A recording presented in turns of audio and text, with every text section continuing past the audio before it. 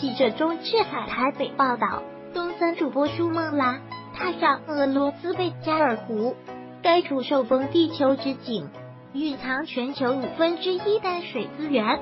光从湖泊最南边往北开一半，就要花七个小时。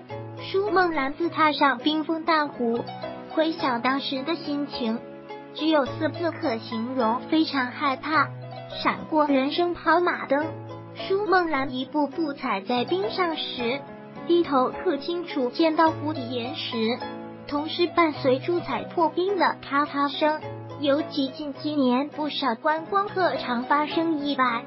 当地政府已打捞起至少九十几辆汽车、好几艘旅游艇以及一架小飞机，这让舒梦兰想到就错，所幸最终没事。舒梦兰踩在结冰湖面，东森提供舒梦兰入境随俗，喝了一口贝加尔湖水。东森提供